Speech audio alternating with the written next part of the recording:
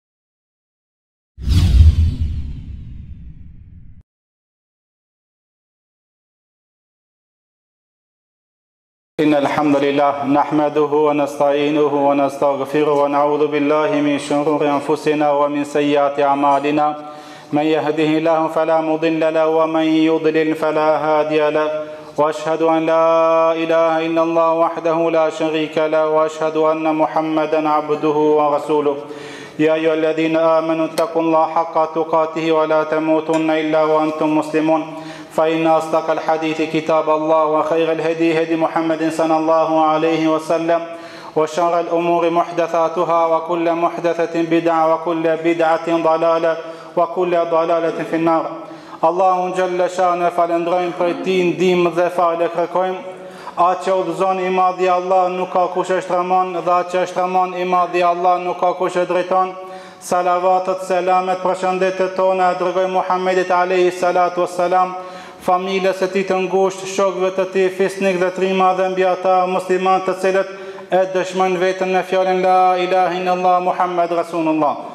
Xhemat të pranishëm, ne jemi në ditët më të mira gjatë vitit, gjatë jetës tonë, ditë ku Allahu xhelleshanuhu i ka përmbledhë, Farzet ma të mëdhoja të Islamit është përmledh namazi, agjërimi, sadakaja, haxhi, jemi në muajin e Dhul Hixhës, jemi në muajin e haxhit, edhe pse për muslimanin krejt viti është hajr. Çdo ditë për muslimanin është ditë, ditë e tij është e mirë e bereqetshme se për shkak se muslimani kur zgjohet në sabah e lut Allahun xhelleshanu dhe i thotë elhamdulilah o Allah i cili m'ke ringjall pasi isha unë i vdekur, andaj kur muslimanin sabah e sheh diellin me sy, e falënderon Allahun xhelleshanu dhe i thotë Allahut, edhe sot o Allah kam me të bo ty ibadet kam me bo për ty punë të mira. Megjithatë Allahu xhelleshanu. Gjatë vitit i ka dallu disa muj, i ka dallua, e ka dallu Dhul Hixhen, çka jemi ne, do thënë këtë muj, e ka dallu prej këtyre katër mujve të cilët janë muajt e shenjtë, e ka dallu edhe muajin e Ramazanit. Pastaj i ka dallu netët, disa net Allahu xhelleshanu gjatë vitit i ka dallu sikurse është Nata e Kadrit, kur Natën e Kadrit zbresin melaçet dhe zbret Xhibrili alejhi selam. Po ashtu prej ditëve që Allahu xhelleshanu e ka dallu është ditë e Arafatit. Te ne thojn ditë e Arifës e cila është nesër, ku Allahu xhelleshanu zbret në qiellin e dunjos.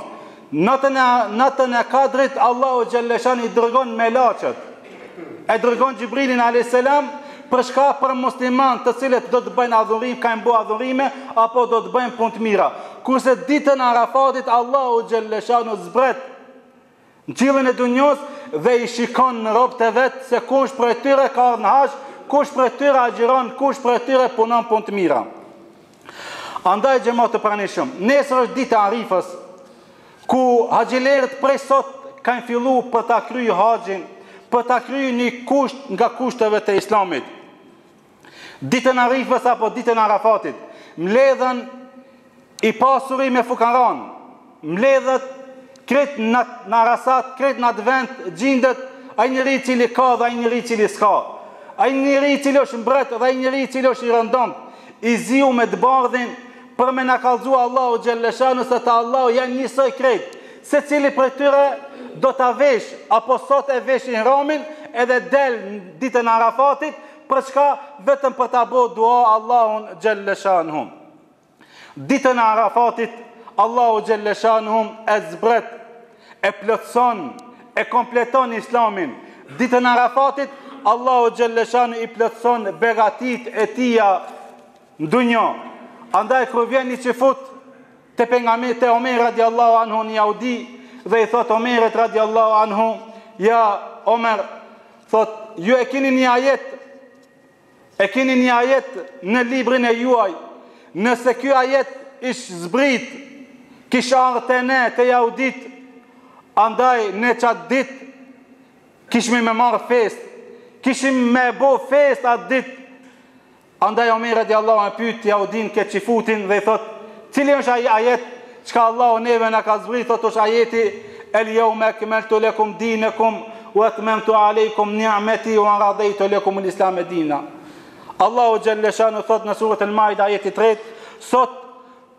Përsosa për ju fenë tuaj, plotësova ndaj jush dhuntinë time, zgjodha për ju fenë islame. Andaj ketë këtë ajet Allahu xhelleshanuhu e zbret ditën e Arafatit. Omer radijallahu anhu i thotë, o njeri, vallahi ne e dim, Kur është zbrit ky ajet, çfarë vendi është zbrit ky ajet dhe kujna kujna është zbrit, i ka zbrit pejgamberit alejhi selam ditën e Arafatit filan vendi. Ne e dimë shumë mirë se Allahu xhelleshanuhu i e plotson fenë, e plotson Islamin në ditën e Arafatit. E plotëson Islamin në kushtin e pestë të Islamit në Haxh. I plotëson të mirat, begatitë e Allahut xhelleshanuhu në Haxh ku Allahu xhelleshanuhu i fal gjunahet e tyre. Andaj këtë ditë, ditën e Arafatit Allahu xhelleshanuhu zbret në qiellin e dunjos. dhe i shikon robtë e vet haxhilerë të cilët kanë shku në haxh për ta plotësu kushtin e pestë të Islamit, i kanë vesh nga sot i veshin ihramat dhe shkojnë për ta lutë Allahun xhelleshanuhu dhe Allahu xhelleshanuhu pasi zbret në qiellin e dunjas dhe i thotë melaqeve a thu vallë këto njerëz për çka kanë ardh Allah e din se njeri i cili ka marrë 4.000-5.000 km apo edhe ma shumë apo ma pak shkon vetëm për ta kry haxhin, për ta kry kushtin e pestë të Islamit. Shpenzon pasuri, shpenzon kohë, shpenzon mund, shpenzon vuxhut, shëndetin vetëm për shka me ta me e kry haxhin, obligimin apo kushtin e pestë të Islamit. Atëherë Allahu xhelleshanuhu i pyet melaqet dhe i thot: "A thu vallë për çka kanë ardh këto njerëz?"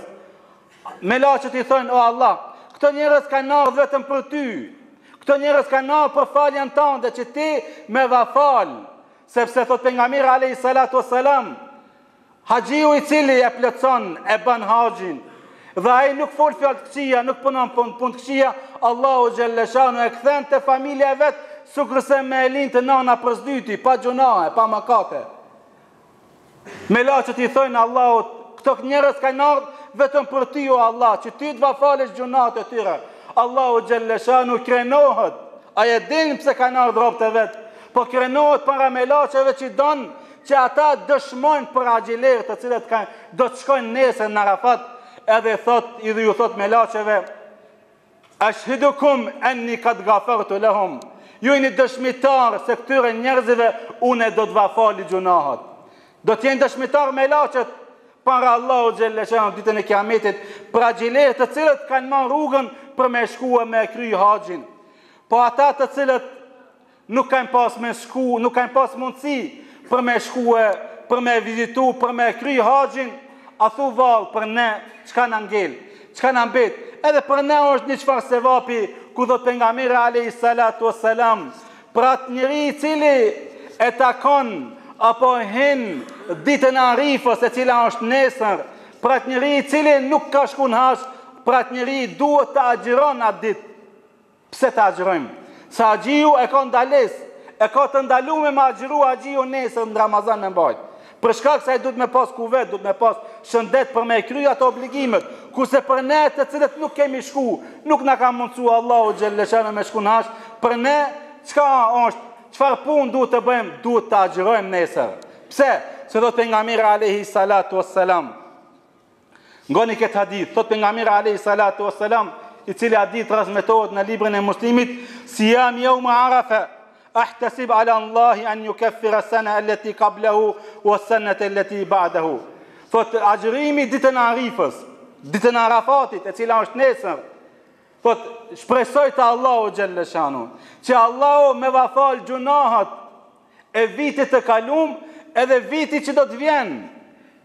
Çka dy vite me një ditë të agjërimit, pejgamberi alejhi selam thotë që shpresoj që Allahu me va fal dy vite gjunat, cilat gjuna, gjunat e vogla, se gjunat e mëdha falen vetëm duke i çu durt duke e cek gjunajn e madh te Allahu xhelle shanu. Kurse gjunat e vogla Allahu xhelle shanu t'i fshin nëpër këto punët e mira, çka Allahu neve na ka begatu me këtë islam.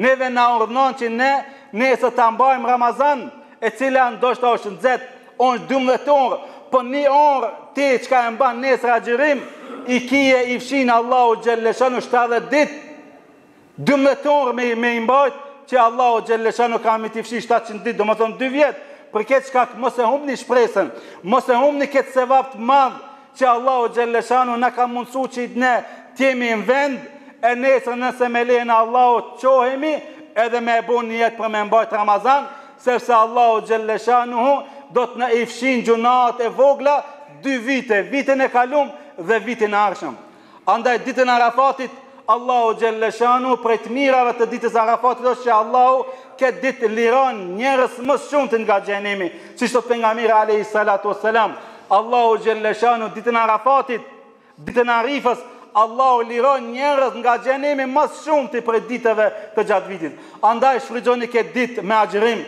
shfrytëzoni këtë ditë duke dhonë sadaka, shfrytëzoni këtë ditë duke punu punë të mira, shfrytëzoni këtë ditë duke fal namaz, Edhe namaz nafile, shfrytëzoni këtë ditë duke lexu Kur'an, shfrytëzoni këtë ditë duke bo dua që Allahu xhelle shanu, sepse Allahu zbret në qiellin e dynjos dhe i shikon robët e vet kush prej tyre punon, mundohet me punu punë të mira, andaj ne lusim Allahun xhelle shanu që Allahu të na mundëson që të arrijmë këtë ditë duke em, duke agjëru, duke punu punë të mira, kurse ata të cilët kanë shku në haxh e lusim Allahun xhelle shanu, që Allahu t'ia ban kabul dhe makbul haxhin dhe të kthehen n'vendlindjen e vet sikurse që i ka lind nana për së dyti.